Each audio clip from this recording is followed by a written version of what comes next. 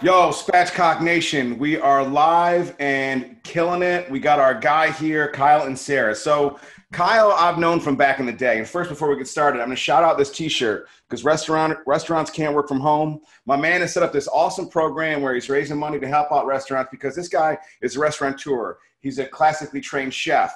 He's an advertising guy. He's a social media icon, and he's an all-around instigator in the best of ways. Right?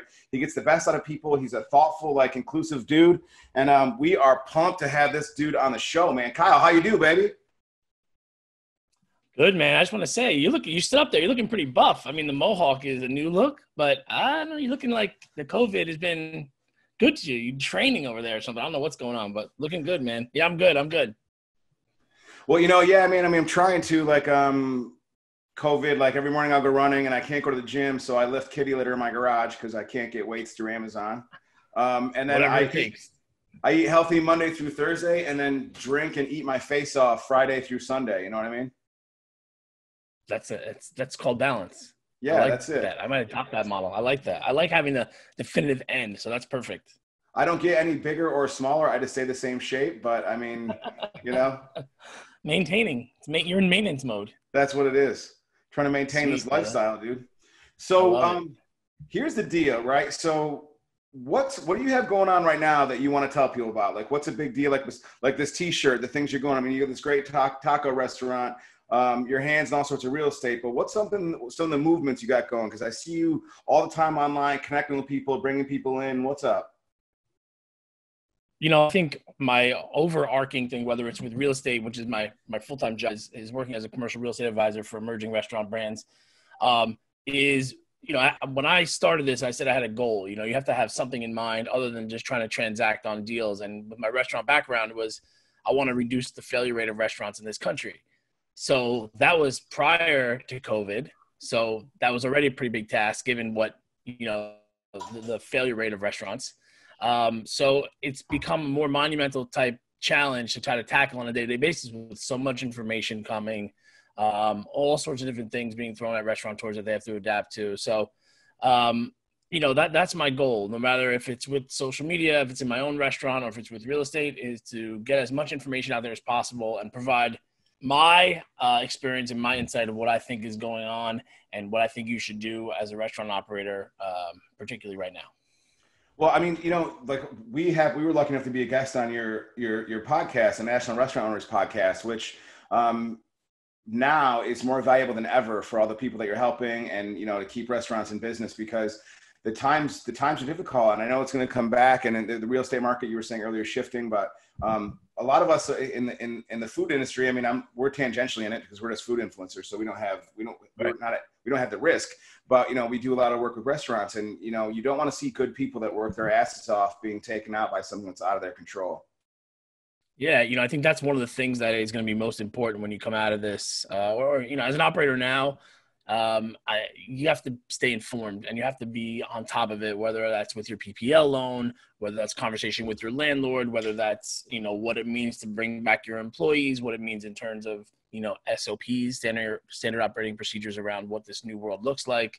Um, but you got to be informed and you got to stay on top of it. And it's a challenge, but you know it's uh, it's your business, right? You got to you got to do what you got to do to feed your family.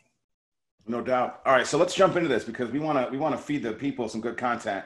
And you're one of the funniest people I know, dude. So let's jump into it. So first, we got MFK. Um, you know the deal. One, you have to have a healthy, long-term monogamous relationship with one uh, amorous one night stand, the other one you have to murder. So here are your choices. Um, as a food guy, you got Bobby Flay, Guy Fieri, or Tom Colicchio. And I got three dudes. Awesome. Um, yeah, yeah, yeah. Uh, I think I'm marrying Tom Colicchio. That dude can cook. It's worth keeping around. Um, I can can I curse on this? Yeah, yeah, oh, yeah. Okay, so I, fuck, I think I think Guy Fieri, you know, he's the good. He looks like he looks like he's the so crazy to say. He looks like the good time guy, right?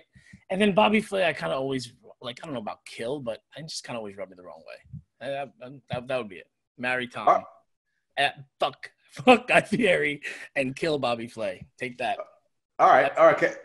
That's um that that's an interesting answer, dude, for sure. Because uh, so this is a hard one because I like all three of these dudes. Um, and it's hard though because like all right, so first I got to do something with Guy in the mix because the, he's just an overall good person. Like you, you, you, hear these stories, and he's not promoting about him like going no. to some firehouse in California. You know what I mean? And just or or, or showing up to people's yeah. restaurants and like just helping them out. So the goodness of him, I really like. Um, he's got a crazy style that sometimes I vibe with, sometimes I don't. Um, Bobby Flay also does cool things for the community. He can be kind of a dick, but a funny dick. Um, yeah. And Colicchio too. I mean, he's also a pretty great cook. But I, so this is really hard. I think I'm gonna, I think I'm gonna marry Bobby Flay. Um, I'm gonna f. I'm gonna yeah because you know what like. Um, I watched that show with him and his daughter bouncing around New York City, and he seems like he's cool with the people in the restaurants. Yeah. So I'm I'm aboard that, but I'm definitely gonna f guy because I mean you know something. I mean Flavortown's gonna be off the hook, dude. Yeah, he's, um, he's the man. I, am not taking that away from him.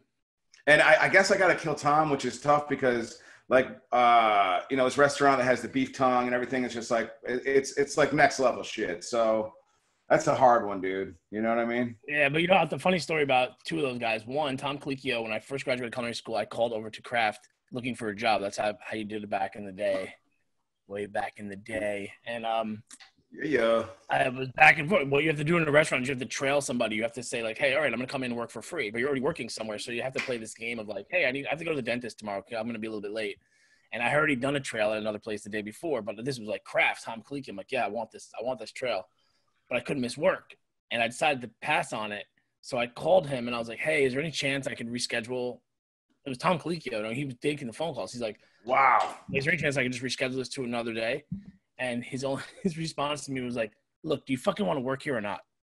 And I was like, and I just like total emotion came over, you know, you're just like somebody cursed at you, like, no, I don't. And I just like, that was it.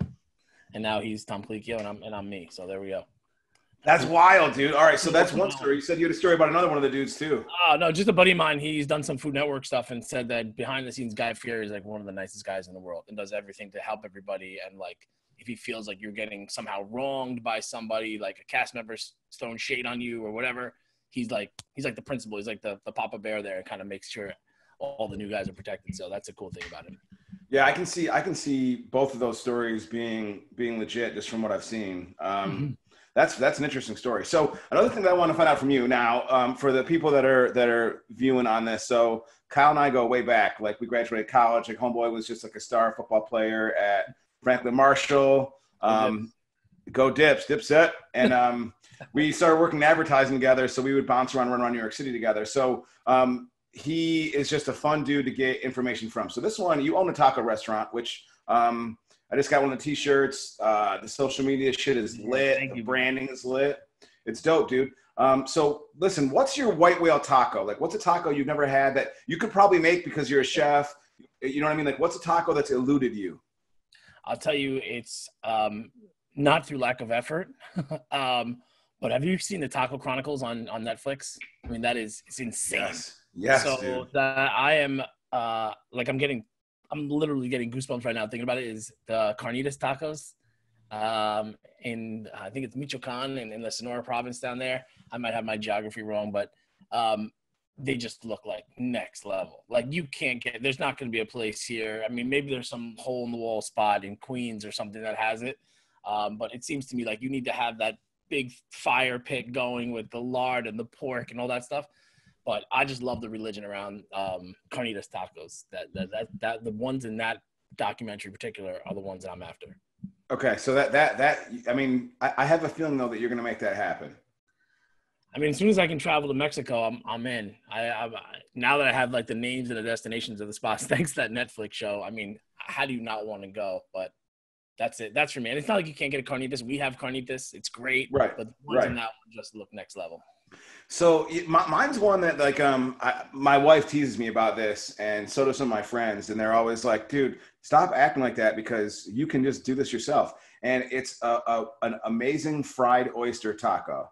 Now, I mean, I love making fried oysters, and I've been to New Orleans like nine times, I think maybe ten.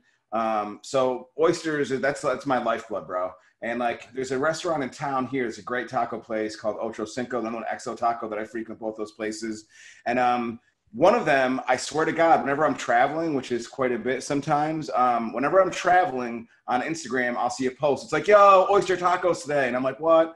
and I refuse to make one myself because I can do that easily. But I want to Yeah, go yeah. and see someone else's spin on it. You know what I mean? So I don't know why. Like uh, whether I've been in like Napa Valley at some like cool taco place, like a dope ass taco stand in like Brooklyn, all these places. I'm Yeah. like, let's see an oyster taco. And when they have one there, they're like, oh, sorry, dude, we just ran out. And I'm like, so it's it's, It's killing me, bro. you. It's, So it's that's your hunt. You're hunting for that one. Yeah, for that- sure. So that's a good. That's a good call. That's a. That's definitely like, you know, an outside the usual line type of taco. But that's uh, you know, I'm into that. There are places that are doing all sorts of everything in a taco. I think, you know, I've sort of adopted more of the philosophy though that it's kind of like an Italian sandwich. That it's really kind of all about the bread, and the tortilla is so important. It's so important. So. Um, I agree. I agree. two things are, are, are really what's going to make the best taco, I think. Yeah, you know, it's funny you're mentioning like that that Netflix documentary. Um, my partner and I, we have a bunch of things that we want to do as we get this thing off the ground. Like we want to do like one of our friends who we partner with um, had an idea of doing a video podcast called Lunchtime Tattoos, which we think would be dope. Bring somebody in, have you know, they get a tattoo. It's like pop up video. They're giving hints on the tattoo, and you just talk. The other Mhm. one um, was an idea we had was called Taco Hunters. And basically, it's like a series where we go around different parts of the country based on like urban legends and myths about like the dopest tacos. So um, if we if we can ever get that off the ground, dude, obviously we'll go to Lala and then we'll we'll have you be a guest. I'm Um, totally in. I'm in for Lala and beyond. So here's the deal, baby. Um, Saturday Night Live, uh, cultural icon, and you from the area, and you're a super funny guy. What's an SNL skit that you'd love to see that they really haven't put together? You mean like one that I would make up? Yep. No, man. I think there's got to be something. I mean, I'm in love with the Trump stuff. I think it's so spot on. I think it, that's. Uh, I mean, of the new stuff, um, you know, I I would I'm not so into it lately, but I really love like the old Eddie Murphy stuff and when they used to really push the boundaries of things. That kind of like cringeworthy kind of comedy. So I think you know, like everything else, there's going to be some humor found in this COVID stuff. I think when it's all said and done, you know how crazy. I mean, like, I who knows, right? Like, and I don't mean to make fun. I know it's a, dead, a deadly pandemic we're dealing with, but it's just weird. It's this invisible thing that we're dealing with, right? We, we don't we got to wear masks, we touch gloves. I got I'm getting changed before I come home from work. I have to get in my underwear outside my house every time when I come home from the restaurant. Like, is that necessary? Like, what steps? Like, if I could see it, is it on this cup? I'm like, we were wiping down everything, and I just I think that at some point, like, all right, guys, this there's it's we can figure this out. It's not so crazy, but like I think there's gonna be some comedy around that, and I think it's healthy to, to, to take that kind of angle. Yeah, I think so too. I, I'd like to see the off color, the off color shit. That's that's like that, that touches borders is what I love. Like I always like Drunk History, which is an awesome show. I love that show. Ah, I would love to see awkward interactions with people in history. Like maybe like Thomas Jefferson bumps into George Washington. Maybe we didn't know that Thomas might have hooked up with Martha because she was like a dish back in the day. And like some awkward, like I'd like to see some of that. Um, this is always funny. you know, I, I you can't go wrong with that. Um, okay, so here's something that um, that I, I want to hear your opinion on. Um, what's something that every restaurant customer should know? Hmm. You know, I think what it's you know, I have a real soft spot for the restaurant owners and what it takes to to get that done. I think it's kind of underestimated, and um, even actually, even as well documented as it is, people say, "Oh my God, it's so hard to start a restaurant. It's so hard to be in the restaurant business." It's ten times harder than that. So I think what people need to realize is that every concept, you know, Cheesecake Factory down to Lala Taqueria, started on in a bullshit conversation of like, hey, we should open up a place. We should sell this and we should do that. And from that point on to the moment you're getting your meal has been, you know, literal blood, sweat, and tears. You know, a lot of owners have swung hammers. They've, you know, they're not, they're not, they're not carpenters, they're not painters, they're not plumbers, but that's what they do. And then they tuck that all away when service comes around to be the smiling face in front of you. And I think it's just having like this understanding that like, yo, this is a really hard job uh, me asking for everything on the side and gluten free and can I make this special and I brought this in can you put that in? It's like it's a fucking pain in the ass. It's a system you know like it's no different than going to your job and saying hey you know what? Um actually we're gonna move the computer over here and the fax machine's not there anymore and the Wi-Fi password changes every day. And it's okay that's annoying. It's annoying. And that's like just particularly now i think i want i want guests to know that this has been you know basically like for restaurant owners dodging bullets and taking mortars on a daily basis in the beginning hour by hour and uh just be compassionate and be fucking nice Yeah. So that that last thing you just said, that um, I mean, people should know what goes into it, and because a lot of people like me, me included, um, and my friend and I actually at one point almost pulled the trigger on it. Like always, I'd love to open a restaurant, whatever. But the amount of work that goes into it, you think that you know, like you think you know, but you don't because it's just like you're the accountant, you're the janitor, you're all these things at once. Um, yeah. Um, but the, the, other thing I think about though too is you said be nice, and my, my deal is is be nice and respectful of the server, man. Like, like one thing, like when I'm when I've interviewed people, like been on job interviews and take people to restaurants to interview them, I watch, or if you're on a date, if listen, anybody listening right now, if you're on a date with somebody and that person is not classy and respectful to yeah. the to the server, jump, dude, because. She's going to be a dick or he's going to be a guy that you don't want to be around at all. You got no right? chance. Yeah, exactly. So make sure that that you treat those people with respect. And you know, sometimes you, you get a free drink out of the meal, but sometimes you don't. Either way, what happens is it's treating people right, man. And for those listening too, if you're on a job interview, listen to me, and you're in a, in, a, in an office, be nice to the person that's the receptionist every time I interviewed somebody after they left, I would come up to the receptionist and say, Hey, what'd you think of her? And they might be like, Oh man, she's a dick. And it's like, all right, well now I'm not going to hire that person. So yeah, yeah. you can't, you know, you can't go far with that. But to that end too, like, so what's, what's a big pet peeve you have as a restaurant owner? Um, Oh man, shit, that's, that's a whole separate podcast. I think, you know, it's, it's, um, that does annoy me is people being rude to staff and and you know I, I kicked a grubhub driver out of the restaurant last week and told her she could never come back for being wow. rude to the staff because it's at some point you have to you know yes you have to be hospitable. Yes you have to put on this face of yes we're here to serve you. Yes i totally get it.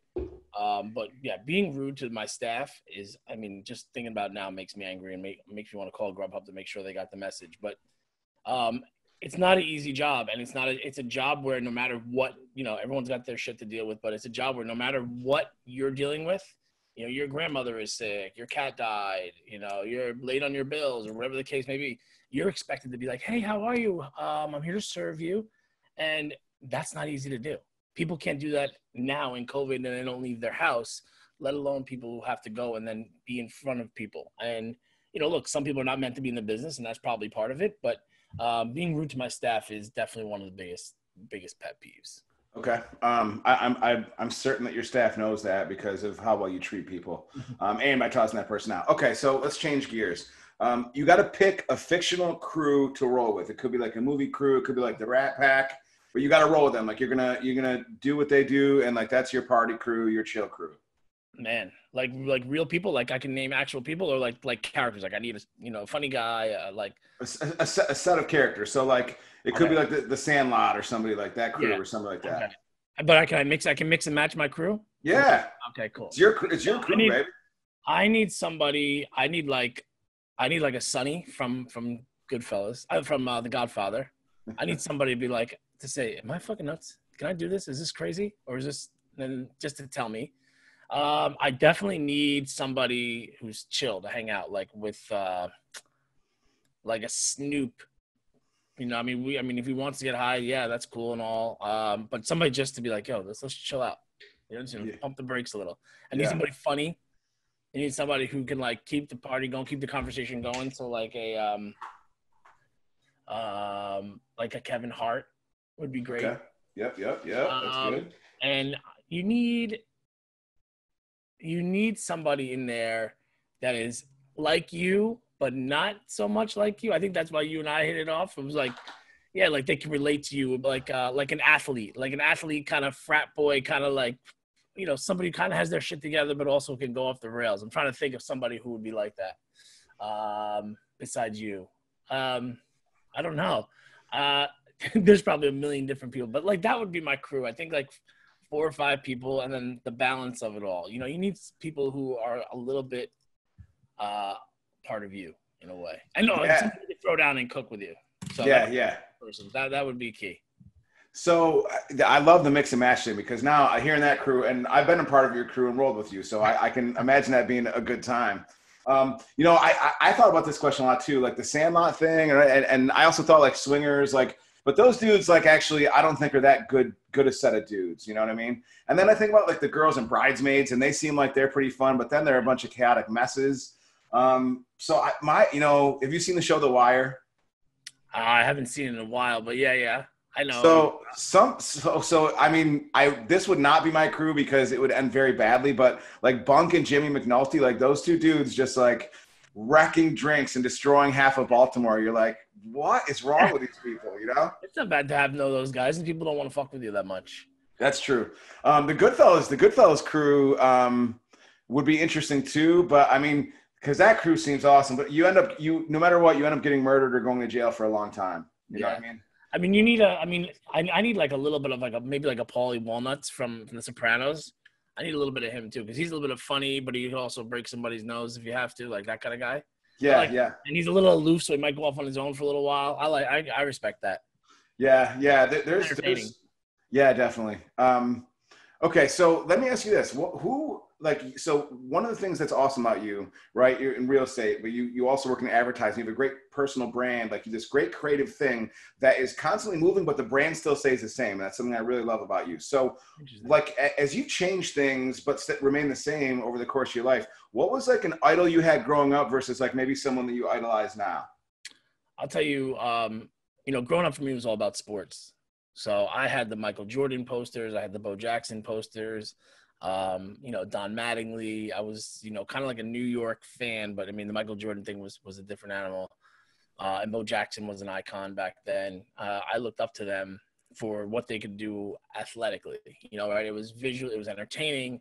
I could relate to it. It was like, holy crap! You know, Bo Jackson's like me. He plays baseball and football. He's guy's a stud. It's unbelievable.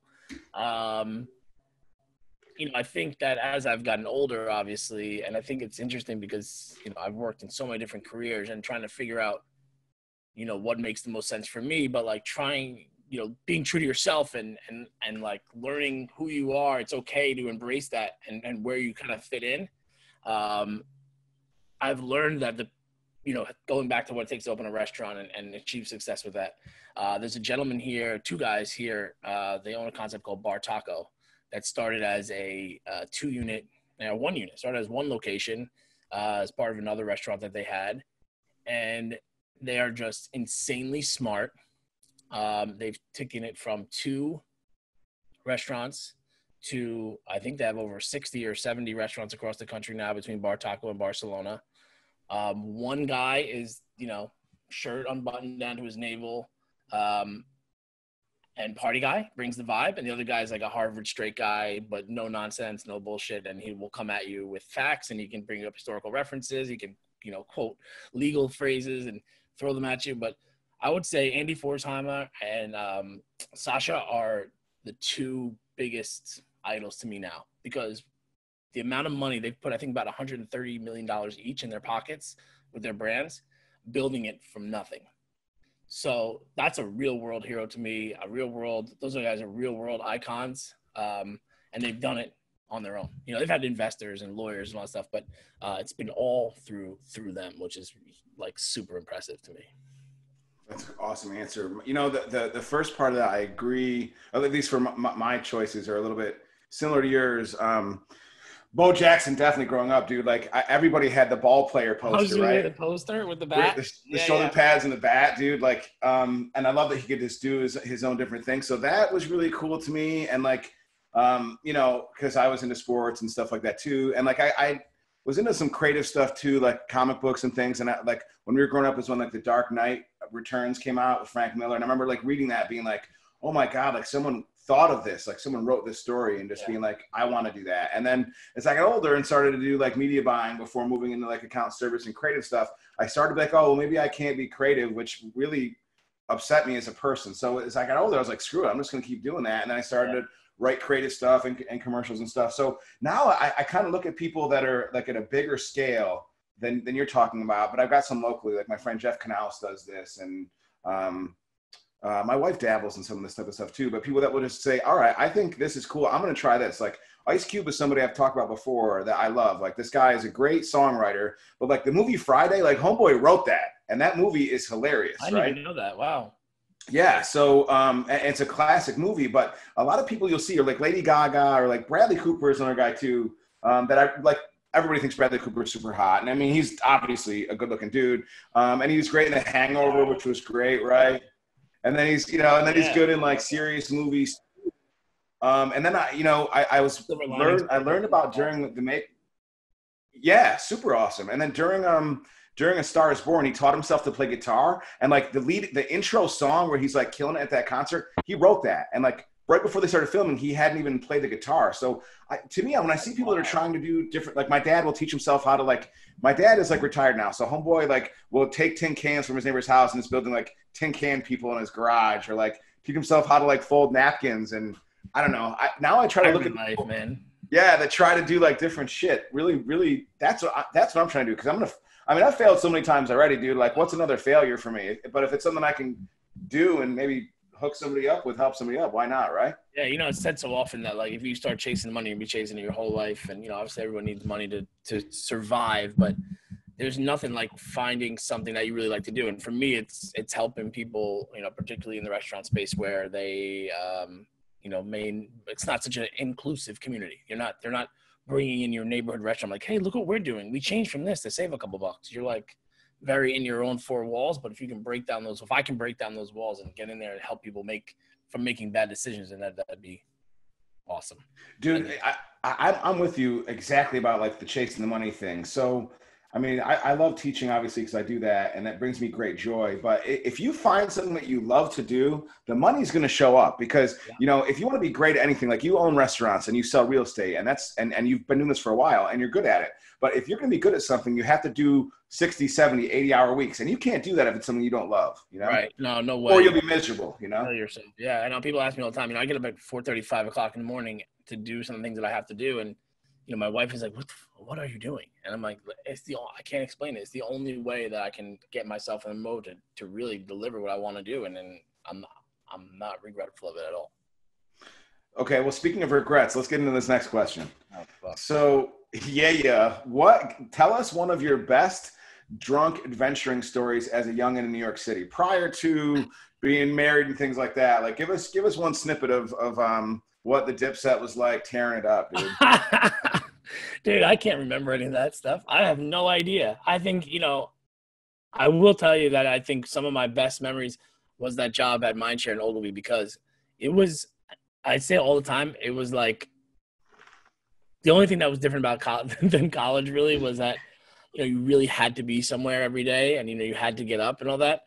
But it wasn't, it was like a halfway house. It was like saying, "Hey, okay, here's this is your life in college. You know, you go from your senior year of doing basically no work and partying every day to going to doing a little bit more work and partying every day, and it was fucking wild. And we had access to like, you know, we were having lunch at. We were making like, I remember I negotiated my salary from twenty seven thousand dollars a year to like, no, sorry, from twenty four five to twenty seven thousand. I was like, yeah, twenty seven thousand dollars a year. God, I, I was getting Take that. like 25, dude. Dude, that's right. I stuck it to. I forget what her name is, but I remember her calling me. Fine, you got it, but don't tell anybody else. And basically hung up on me.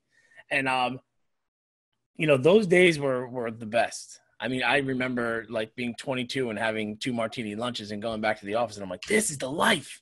And then coming, and then at the end of the day, having two tickets to a Yankees World Series game. It was like, it was a, it was a dream, and I don't, I cannot recall very many details. I'm sorry. I'm 43 now, and I'm married, and I maybe compartmentalize that. I don't know. Maybe I need a night out with you to refresh my memory. Dude, well, the one I was I was going to share one because same same Z's on everything you just said. I was just going to share one um, that I recall um, because a lot of different baseball games, those things like that. But one night there was like an upfront party, and they had it on the deck of the USS Intrepid. I was thinking of that. Yeah, yeah, yeah. And we're up there partying, and they're bringing in like TV stars and stuff to try to get our agencies to spend more money with their TV channels. So we're like yeah. partying with like Dan Titus and the, the, the father from like that 70s show. It was a Fox party. Yeah. And it got lit and like we're sitting there partying it up and like we're wearing like suits and everything, like not paying for anything, drinking all top shelf not drinks. You know what I mean? And then afterwards, like somebody from one of the networks was like, "Yo, do you guys want to roll with us to this club?" And we're like, "Of course we do." And it was that '80s club that had like played all '80s music, and you and I walked. Oh, yeah. And there's like name of that place. I yeah, forget, man. They the had smiley the, face. Yes, and they had the uh, bleachers where people yes. would sit in the bleachers and like people were hooking up on the bleachers. I remember walking in there and we're like wearing our, our ties from like the upfront and like people were dressed in club clothes and they feel like I remember feeling like we were such cool like stars and like that night I remember going to that party and beforehand we were talking like let's not make this a long night and then at like four o'clock in the morning we're stumbling out of that club like oh shit that was pretty yeah, intense. That, sounds, that that sounds. I vaguely remember that. That's uh, for sure, and that's exactly what it was like. And I wonder if that's what it's like now. I mean, I don't know if there's any restrictions, but that's it. If you can get into that field uh, as a transition, I mean, you're still kind of in, right? That's kind of like yeah, yeah, yeah. So, um, I, I, don't know. I don't know that it's still the same, but it's because I'm older now, man. Like I don't think that like the youngins can be like, hey, we're you know what I mean. But I, I imagine in the morning at your house, you don't need to go out for that. Yeah, yeah, that's exactly right. That's exactly right. Having like my wife and I solving the problems, listening and like doing like sing-alongs to Spotify oh playlists. You know what I mean? but it, it makes life good. Um, okay, so what's your biggest challenge that you face as a creative person? Yeah, that's funny that you say that because it's like um, today in particular, this week, really, I was just was talking to somebody that I feel like I'm stuck in. It really started the end of last week, like stuck in like between second and, and third gear. Like I'm, I, I cannot get, and it's a time where for what I do, you know, working with restaurants, it's you know time to provide and time to create. Um, for me, I think it's like stuck between when I when I don't know if I can inject humor, if I got to play it straight, if this is purely informational. Um, you know, in a lot of ways, I, I think that I just gotta when I when I feel that way, I just start documenting stuff, and I'll just turn on the camera and start talking, or I'll go for a ride and drive my market and see what spaces are available, and you know, and that kind of gets me out of it. I start focusing more on documenting and not so much on creating. And I think I get the most engagement on stuff when I just turn on the camera like this and I just say, look, I don't know what's going on. Uh, I feel like this, you know, it's kind of like the Kardashian thing. Like, why do people watch it? Because they're waiting for the next train wreck or they're waiting for me to, I don't know, cry or something. I don't know what, but, um, and then it gets me like, if you see me fucking crying on the video, by the way, just like delete me. Don't add me anyway. I'll never fucking do that. I don't know why. It's not me. But, um, I mean, I would do that. I could totally see myself crying. you do it right now. Yeah. Uh, why? I could do it right now. Um, but yeah, I think the authenticity part of it, like for a long time, I was like, I'm not even know if you know this, but my my the, the restaurant that I started literally on the back of a napkin. You know, you start to get other people involved. You start to do, start to bring in partners, you start to bring investors, and all this shit. And um, I actually got fired by my partners. You know, I could keep my equity, but they're like, we don't want you. I was being a dick. I was done with it. It was it was really my fault. I basically asked for it, but I was like, I don't want anybody to know that. You know, that doesn't look good as the restaurant guy. But then I was like, everybody makes mistakes. And then when mm-hmm. I take the, the bullets out of everybody's gun of like, what are you going to say to me? Yeah, we fired you. Yeah, I know. I know. And you still have that restaurant and I'm doing this. So, you know, you take these things and you move on and you adapt. And I think that's part of your story and part of your creative process is how do I take that experience and make it into a creative piece of content that's going to help somebody? And I think a lot of it is like, you know, for that, it's like, okay, how do you navigate partnerships? You know, how was I able to get fired but I still kept my equity and wound up leaving there getting paid and they're going downhill now? I mean, that's a real business issue. Yeah. So, um, I think it's taking those little pieces of um, content that may be not so easy to expose to everybody, but once you put it out there, it's so fucking freeing it's so free. it's like you know same with real estate hey this deal didn't go through this landlord didn't hire me that that story is what keeps people engaged in you you just posting selfies of you know you at a bar or you know hot chicks in bikinis or guys with their abs well what, who's going to engage with that Right. So, for they're just going to look and keep scrolling, dude. They want the story and and that failure, right? Every good story, like if Harry Potter was just a, a, a, just a school year of them hanging out, it wouldn't be as interesting. I mean, I you know you got you got to throw some ogres and some other shit yeah, in right, there. Of course. Um, yeah, to me, like that's interesting. You said that about the documentation too, because for me, I need to take time to be to be when I'm working on creative projects. Um, it's not that I can't hit deadlines and stuff. I can, but I need to make sure that I take time because I always want to do all these things with other people and help people out. And I always want to say yes. I don't ever want to be in the no business, but yeah. sometimes I got to work to make time. Like, okay, I need to put two hours in my calendar, and yeah. I'm just going to write for two hours. You know what I mean? Yeah that's a big thing. That's a big thing that helps me with my content creation. And I, and I just actually started being more diligent with it. Like these past two weeks is blocking off time, like really taking your time. And for me, I literally put in, okay, go for a run, come back, shower, eat breakfast, like those things until I get into a real cadence of things. And I'll say, okay, from, you know, 1130 to 1230 today, this is what I'm doing. And that's it and it's it's easier said than done, but at least the practice of, of getting in in uh, the habit of, of doing that will get you into like doing it on a more regular basis and realizing to focus on one thing at a time at this specific time, and that that has helped for sure. Beautiful, man. Okay, so now we're gonna do the lightning round. So I'm gonna throw five questions at you that you uh, have no preparation for. Let's go. You ready? Okay. Go. Number one, you're a younger man. Think about the time when you're young and partying across New York City. Would you rather go out for the night partying across New York City with a young in his prime Mickey Mantle or a young in his prime Derek Jeter? Mickey Mantle. For sure. Why, why, why, why, why such a quick Derek, answer? man? Derek Jeter seemed like he did his thing, but he wanted to do it on his own. Like he's the kind of guy who would probably be like texting in the corner, like, "Where are you going?" He's like, "I gotta go." You're like, "Oh, "I thought we were hanging out." Whereas Mickey Mantle would like bring him, bring you with him. You know, True. Like, Jeter would be cool, and you get all the thing, but the end of the night, he'd probably like leave with everybody, and you're like going to get a burger by yourself. Yeah, good, good. Ooh, I like, I, I like the, the rationale there. Um, if, if I I. I love yeah, it. I think it's great, great. Okay, so what do you enjoy more, scoring a touchdown or hitting a home run? Touchdown. Yeah, touchdown. You know why? I feel like it's more. You've accomplished more. It's more physical. Like sometimes you hit a home run and you're like, "Whoa, shit! I didn't know that was coming." With the touchdown, you sometimes you you can feel it coming, and you're like, "Oh yeah!" And there's more like I don't know. I feel like that's way more exciting. Plus, it's seven points versus I don't know. I don't know why the points matter, but it feels it just feels better. Feels bigger. Yeah, yeah. I, okay, so I, I love that answer because sometimes like you put a bad swing on the ball and it goes out and you're like, oh man, wow. Um, but a, a touchdown though too, like you you have to earn that. You get bruised, like yeah. stung, and all of a sudden you're like, but I did this, you know? All right. Yeah, yeah, yeah. I mean, like, the sound of a home run, that feeling is fantastic, but touchdown is inches it out. I think a little bit. Okay. Um, would you rather be stranded on Jurassic Park with no chance for escape, or stuck on a deflating tube in um, Amityville? I think is that where the Jaws movie takes place, and the shark, the sharks in the water. So you're stuck in a deflating tube in Jaws, or you're stranded on Jurassic Park. Dude, I love I love the beach and the water and all that stuff. Um, but there's like something about sinking or like a boat like being stuck in the water. I mean, the shark thing kind of like is like an afterthought. But um, and I don't know, I don't really like the woods either. If I'm not gonna be in Jurassic Park or that, I think I'd have to take my chances. Even as much as I hate the as, as much as I hate the thought of being in a boat, particularly at night, like no lights, like uh, I think I'll go with that because the woods. So I, I got I go for a hike on the woods over here. It's like a quarter mile away from the hutch, and I'm like, oh shit, that was gonna happen out here. I can't- I can't- I'm like a mile from my house, so yeah, I got no shot at that. Oh man. Okay. Um, which do you prefer, the back page of the New York Post or the front page of Rolling Stone magazine? Oh wow, the post, the back page of the post. The back page of the post was so iconic to me growing up. Like, even I mean, it sounds like we're like 100 years old, but like I would buy the the paper on the way to the bus, like in the morning, strictly for the back page of the post. I mean, that was when the Yankees were ripping, the Yankees Mets feuding, they were dominating the Red Sox. So I was like, oh yeah, I can't wait to see this. I can't wait to see this. So for sure, I mean, even now, I you know you don't pick up papers nearly as much, but like the front and back of the post are Oh, yeah. uh, are always like, did they really just say that? Venomous, venomous headlines. Like Oh, what? yeah, sure.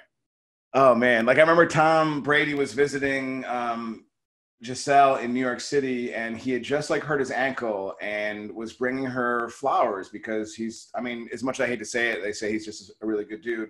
So he's wearing like the the the, the boot and um, bringing his girlfriend flowers, and it's like girly man wears booties and carries flowers, and it was like what?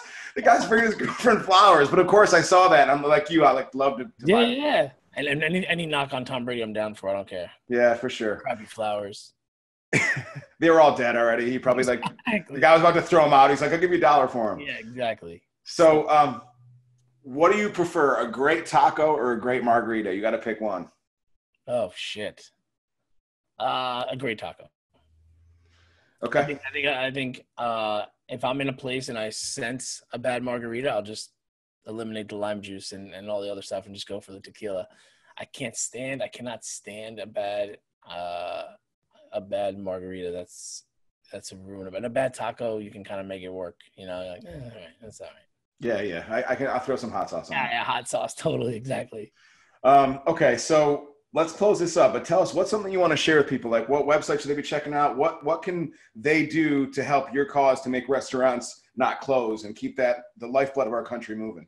Well, I mean, the number one thing you need to do is go out into your local neighborhood and go to uh, the mom and pop, whatever one that you go to, uh, and buy whatever you can afford to buy, whether that's a meal, a gift card, a shirt, a hat. Um, they you know the thing for these restaurants is that they miss the connection. They miss the conversation. They miss you know being hospitable to people and they need the money. So um, going there even in your gloves and your mask and everything will show them that you're still thinking about them and you're reaching out. So for me personally with my goal of trying to you know eliminate the failure rate or lower the failure rate of restaurants in this country um, it would mean the world to me to go out and see you guys buy stuff. Um, I would love if you tagged me in some places in your neighborhood that have are selling shirts because I'm trying to create this whole new summer wardrobe of restaurant shirts and hats. So um, I would love to support that way. Um, you know, and and for me personally, that's you know, if you follow me on Instagram, um, LinkedIn, whatever, I'm all over the place uh, working on a YouTube channel. But I think the most important thing to me is that you support your local restaurants. They're so important that you you know even if you don't consider yourself much of a foodie, you have emotional ties to some place in your neighborhood, and you should go there and uh, make sure that they're doing okay because the odds are a lot of them are not and and could use the help. Man, super well said, dude. So, listen, all y'all out there, follow Kyle on Instagram. It's off the charts, super entertaining. Listen to the National Restaurant Owners Podcast, whether you own a restaurant or not. Um, buy one of these shirts. It's dope. Um, all the links will be in the bottom of our YouTube descriptor. So listen, Kyle, this has been awesome. Being around you is awesome, whether it's virtual or in person. Next time it's over tacos and margaritas. You feel me? Yeah, man. I want to. I want to. cook. Maybe we can cook carnitas on your on your show. That would be the Let, way we should do it. Let's do it, man. Let's do it. Listen, Spatchcock Nation, on behalf of Kyle, thank you so much for listening and watching and doing what you do. Support local restaurants. Spatchcock out. See you later. Thanks, man.